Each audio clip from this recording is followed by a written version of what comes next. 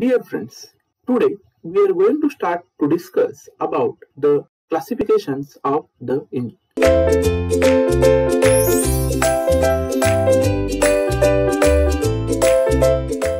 In the last few lectures, we already discussed what do you mean by engines, the different engine components and its construction. Then we discussed about the engine nomenclatures. Now, today we are going to start to discuss about the classifications of the engine. So basically engine is classified on two basic group. One is the external combustion engine and another one is the internal combustion engine. Our point of concentration on internal combustion engines. So before this, we must have to understand a definition of external combustion and internal combustion. Then we can understand the difference between external and internal combustion engine. So in this case, to understand the external combustion engine, I'm just giving you one simple example. I think all of you are knowing about a steam power plant. In the steam power plant, water is very important component in the steam power plant. Then the steam generators or we can say the steam turbine is there. Then for generation of heat, in the case of steam power plant, always they are using a coal. So in the case of this steam power plant, coal will start to burn and that heat energy, whatever generated by the burning of coal, that heat energy is transferred to the water and then water will start to heat and that water will converted into the steam and that steam will be forcing on the turbine blade and turbine will start to rotate with very high velocity okay. And then with the help of generator electricity will generate. So this is the simple working principle of a steam power plant as we know. But if you concentrate on this in the case of steam power plant we are using a two motive fluids. Okay. What are those two motive fluids? One is a coal and another one is a water Okay. In the case of external combustion engine, the combustion is done externally where the two motive fluids to be utilized for the generation of the final output. Okay. In the case of this one, first of all, we have to burn the coal and that coal's heat energy is transferred to the water. Then water will converted into steam and then we can use that steam to forcing the turbine blade. Is it right? But when we compare this external combustion engine with internal combustion engine, in the case of internal combustion engine, whatever combustion is there, it will happen inside one body and in this case, we are using just a fuel like petrol or diesel and automatically with the help of engine, the heat energy will get from the chemical energy which present in the fuels okay. Means we are only using a single motive fluid that is a fuel like petrol or diesel in the case of internal combustion engine. In simple word in the case of internal combustion engine we are using fuel like petrol and diesel and the chemical energy of fuel which present over there will convert it into heat energy. Okay as on in the case of external combustion engine, we have to use first upon coal, then by burning of coal that heat energy is transferred to the water, then water we converted into steam and then we can use that steam to forcing the turbine. But in the case of internal combustion engine, we are directly using fuel and the energy, chemical energy which present in the fuel directly utilized for uh, generation of heat.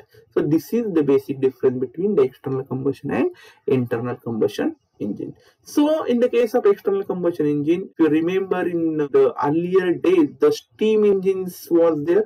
So steam engine was the example of external combustion engine uh, where the whole combustion were done outside so that's why it, it was called as external combustion.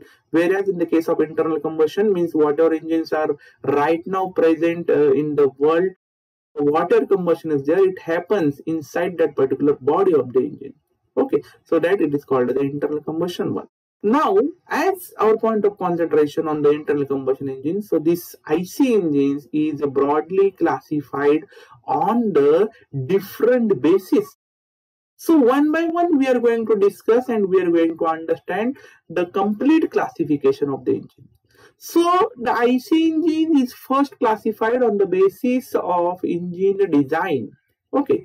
So according to the design engine, this IC engine is subclassified as A. Reciprocating engine, B. Rotary or Wankel engine. Okay. Then after, according to the working cycle, IC engine is again classified as according to the working cycle, one is Otto cycle, it is also called as a petrol cycle or we can say uh, this is useful in the case of SI engine. And another cycle that is called as a diesel cycle this is also called as a CI engine cycle for CI engine. Okay. Then the third one the third basis uh, is number of stroke. So it is classified as two stroke engine and four stroke engine. Both in the case of spark ignition SI means spark ignition and CI means compression ignition engine. Generally SI means petrol engine CI means diesel engines. Always remember whenever after this one when I'm going to use the word SI and CI you have to understood SI means petrol engine CI means diesel engine now for number of stroke two stroke engine and four stroke engine these are the basic strokes of the engine then on the basis of fuel use. So we can use petrol, diesel, LPG, CNG and so on as a fuel for the engine itself.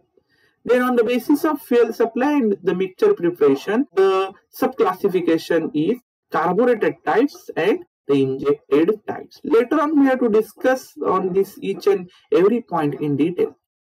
So the next basis is method of ignition.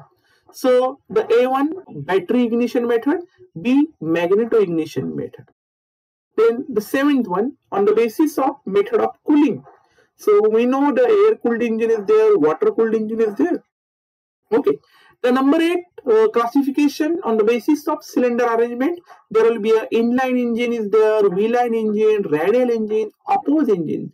So much types are present under the cylinder arrangement. Okay, means the engine cylinder can be arranged with this particular kind of a cylinder arrangement. So the ninth classification is valve or port and the location design. So it is again I head type. This is present for four-stroke engine. B that is L head type. Uh, this is only for four-stroke engine.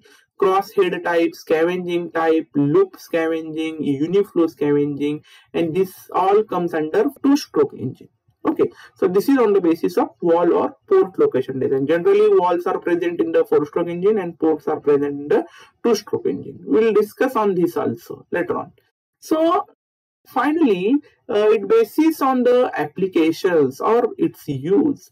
So the different varieties of engines are there according to the different applications. Like automotive engines we can use for land transport marine engines for the propulsion of ships uh, then the aircraft engines, uh, industrial engines, locomotive engines, the heavy prime movers for the electrical generators. These are the few applications where we can use the different varieties of engine. So this is all about for the complete classification of the engine.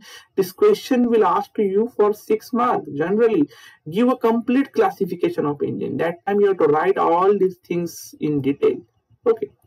So these are the different picks of the the different varieties or the different types of engine. This is the general pick again. The piston, cylinder, spark plug, along with the uh, in some engines fuel injectors are there. In some engines, spark plugs are there. Uh, generally, the injectors are used in the case of diesel engine and spark plug are used in the conventional type of a petrol engine. Okay, so this is called as a vertical engine where the operations of uh, piston reciprocating uh, or reciprocation action will be done in vertical direction. That's why it is called as a vertical engine. The cylinder arrangement is again in vertical direction. That's why it is called as a vertical engine. So this is the V engine. If you observe the piston will reciprocate in V direction or the cylinder has a V shape. That's why it is called as a V engine. This side is again in V shape and another side which is uh, actual the cut section. So another side is also in V shape. That's why it is called as a V engine itself. So again uh, the vertical engines uh, like this uh, cylinder arrangements are also there. This is a rotary engine later on we'll talk in detail about this one also. So these are the picks of few very big engines for the ship propulsion uh, such kind of big engines for generation of huge amount of power uh, in marine applications where the uh, maximum power is required uh, this is one of the peak of it. So uh, this is another heavy engines along with uh, different mechanisms uh, which is useful in the case of heavy loading automobile engines like trucks buses etc so uh, this is again peak of aircraft propulsion engine. Main important thing of this particular engine this should be lightweight because have to use in the case of aircraft. That's why it will generate again huge amount of power. So this is the peak of uh, the aircraft uh, propulsion engine itself. So today we just discussed about the different classifications of the engine and again we had few peaks of the engine. So again when we see or when we talk about for the notes part again uh, we have uh, the notes for the classifications of ic engine here the complete classification is given like this one. So just I'm providing this and uh, giving you the quick uh, review of this particular notes itself. So like this, if the question will ask you write the complete classification of IC engine that time, you have to write all these things in detail along with the different classifications of the engine. So that's all for this particular classification of the IC engine. Thank you friends.